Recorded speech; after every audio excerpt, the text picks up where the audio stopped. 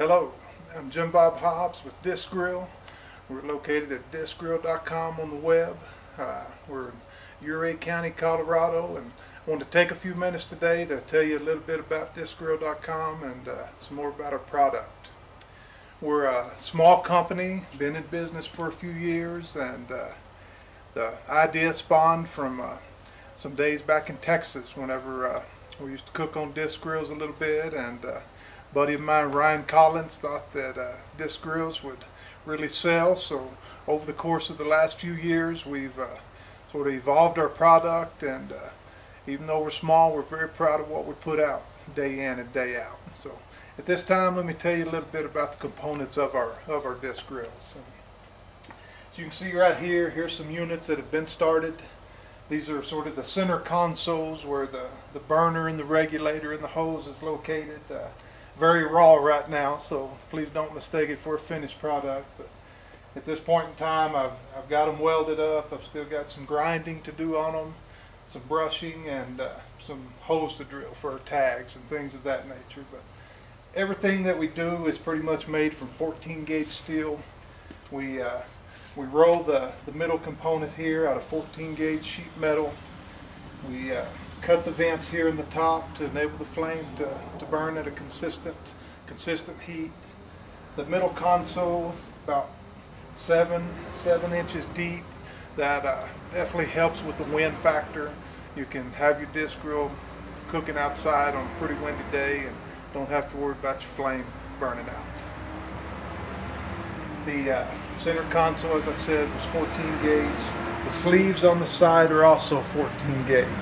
We use 14 gauge square tubing for those and uh, a little bit later I'll tell you more about that as far as how those function within the process of disc grills. But all in all it either serves as a stand or the sleeves serve as a place to plug your legs in if you're not cooking on a, a table or a tailgate. Moving on to some of the other components. Uh, our legs are also made of uh, 14 gauge square tubing, uh, good sturdy steel. It's uh, more than likely uh, will outlast me as far as my lifetime goes if you uh, take decent care of it throughout its life. Uh, one of the things I've definitely noticed over time, once or twice a year, I'll take the time to clean my legs off, clean the center console off, and just give it a new fresh coat of paint. And that keeps it looking new and keeps it from rusting, things of that nature. The uh, disc that we use, the standard disc that we use is pretty much a 22 inch disc. It's uh, just carbon steel, good high quality carbon steel and uh, you know when it's all said and done and finished uh, you have a shiny smooth surface that as a customer you would season it and then start cooking on it but very high quality the the discs themselves are probably close to a quarter inch steel. So very, very heavy duty.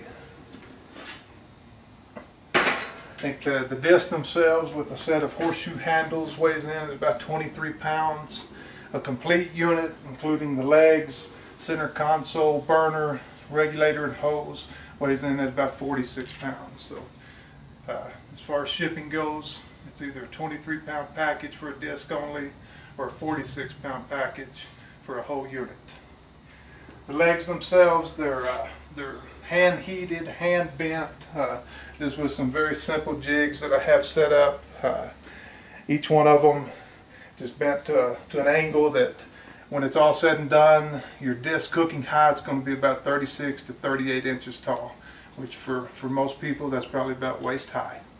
So very convenient there. And you can uh, take a look at our sales video and sort of see one in action, see one set up, and uh, get to see more of what our finished product looks like at that point in time.